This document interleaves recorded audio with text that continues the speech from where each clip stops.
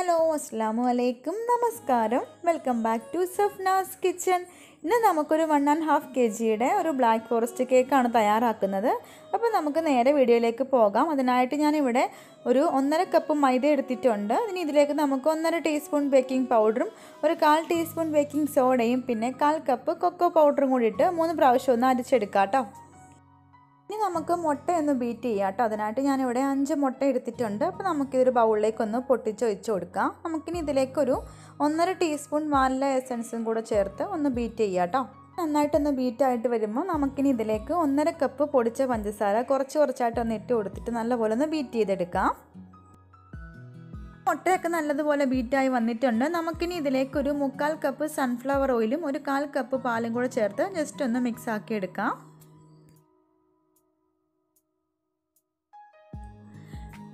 ഇനി ഇതിലേക്ക് നമുക്ക് ഫ്ലോർ മിക്സ് കുറച്ച് കുറച്ചായിട്ടൊന്ന് ഇട്ട് കൊടുത്തിട്ടൊന്ന് മിക്സ് ആക്കി എടുക്കാം കേട്ടോ.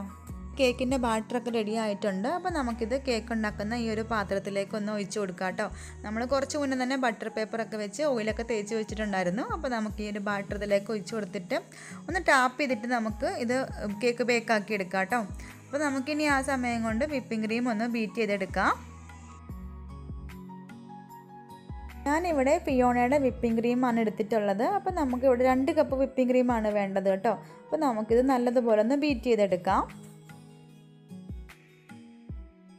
ഇപ്പം നമ്മുടെ ക്രീമൊക്കെ നല്ലതുപോലെ സ്റ്റിഫായി വന്നിട്ടുണ്ട്. അപ്പോൾ നമുക്കിനി ഇത് കുറച്ച് നേരത്തേക്കൊന്ന് ഫ്രിഡ്ജിലോട്ട് വെച്ച് കൊടുക്കാം. അപ്പോൾ നമുക്ക് ആ സമയം കൊണ്ട് കേക്ക് ബേക്കായിട്ട് കിട്ടിയിട്ടുണ്ട്. അപ്പോൾ ചൂടൊക്കെ ഒന്ന് പോയിട്ട് നമുക്ക് മൂന്നായിട്ടൊന്ന് കട്ട് ചെയ്തെടുക്കാം കേട്ടോ. അപ്പം നമ്മൾ കേക്കൊക്കെ മൂന്ന് ലെയറായിട്ട് കട്ട് ചെയ്തിട്ടുണ്ട് അപ്പം നമുക്ക് കേക്കിന് ഐസിങ് ചെയ്യാനായിട്ട് കേക്ക് ബോർഡിലേക്ക് കുറച്ച് ക്രീം ആക്കി കൊടുത്തിട്ടുണ്ടായിരുന്നു. അതിലേക്ക് നമുക്ക് ഫസ്റ്റ് ലെയർ കേക്ക് വെച്ച് കൊടുക്കാം. ഇനി ഇതിലേക്ക് ഷുഗർ സിറപ്പ് വെച്ചിട്ടൊന്ന് വെറ്റ് ചെയ്യാവേ. ഇനി നമുക്ക് ഇതിന്റെ മുകളിലായിട്ട് ക്രീം ഒന്ന് ആക്കി കൊടുക്കാം. എന്നിട്ട് നമുക്കൊന്ന് ലെവലാക്കി എടുക്കാവേ. ഇപ്പം നമ്മൾ ക്രീമൊക്കെ ഇട്ട് കൊടുത്തിട്ടുണ്ട്. ഞാനിവിടെ ഇതിന് മുകളിലായിട്ട് ഗ്രേറ്റ് ചെയ്ത ചോക്ലേറ്റിന് പകരമായിട്ട് ചോക്ലേറ്റ് ഗനാശാണ് കേട്ടോ ഒഴിച്ച് കൊടുക്കുന്നത്. എന്നിട്ട് നമുക്ക് എല്ലാ ഭാഗത്തേക്ക് സ്പ്രെഡ് ആക്കി കൊടുക്കാം. ഇതിന് മുകളിലായിട്ട് ചെറിയ കൂടി ഇട്ട് കൊടുത്തിട്ട് സെക്കൻഡ് ലെയറും ഇത് ഉണക്ക് തന്നെ ചെയ്തെടുക്കാവേ.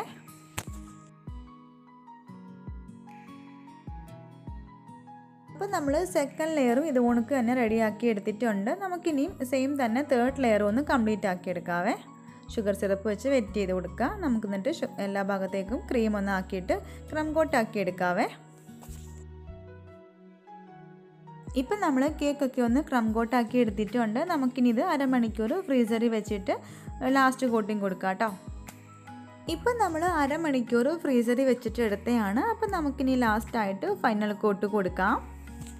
കേക്കിന്റെ സൈഡിലും മുകളിലും ഒക്കെ നമുക്ക് ക്രീമൊക്കെ ഒന്ന് ഇട്ട് കൊടുത്തിട്ട് ലെവലാക്കി എടുക്കാം കേട്ടോ. നമ്മൾ ഇങ്ങനെ ക്രീമൊക്കെ ഇട്ട് ലെവലാക്കി എടുക്കുമ്പം ഈ നൈഫിനകത്തൊക്കെ ആണെങ്കിൽ ക്രീമൊക്കെ ആകുമ്പോൾ അതൊന്ന് ക്ലീൻ ആക്കിയിട്ട് വേണം കേട്ടോ നമ്മൾ ബാക്കിയൊക്കെ ഒന്ന് വൃത്തിയാക്കി എടുക്കാനായിട്ട് കേട്ടോ. അല്ലെങ്കിൽ ക്രീം ഇങ്ങനെ നൈഫ് ഇരിക്കുവാണെങ്കിൽ നമുക്ക് നല്ല നീറ്റായിട്ട് ഇത് കേക്ക് കംപ്ലീറ്റ് ആക്കാൻ പറ്റത്തില്ല കേട്ടോ. ഇനി നമുക്ക് ഈ സ്ക്രാപ്പർ ഉപയോഗിച്ചിട്ട് ഒന്ന് ലെവലാക്കി എടുക്കാം. എന്നിട്ട് എക്സ്ട്രാ ഉള്ള ക്രീമൊക്കെ നമുക്കൊന്ന് ഇത് ക്ലീൻ ആക്കി എടുക്കാം കേട്ടോ. എന്നിട്ട് നമുക്ക് ക്രീം ഇല്ലാത്ത ഭാഗത്തൊക്കെ കുറച്ച് ക്രീമൊക്കെ ഇട്ടൊന്ന് റെഡിയാക്കി എടുക്കാവേ.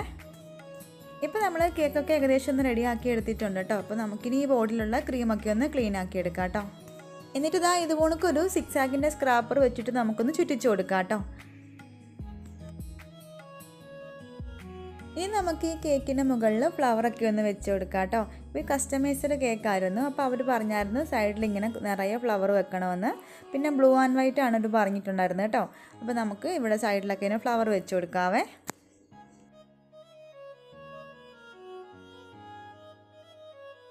അങ്ങനെ നമ്മൾ കേക്കിൽ ഫ്ലവറൊക്കെ വരച്ച് കൊടുത്ത് കംപ്ലീറ്റ് ആക്കി എടുത്തിട്ടുണ്ട്. പിന്നെ ലീഫൊക്കെ വരച്ച് കൊടുത്തിട്ടുണ്ട് കേട്ടോ. അപ്പോൾ നമുക്ക് ഇനി കേക്കിൽ പേരൊന്നും എഴുതാവേ.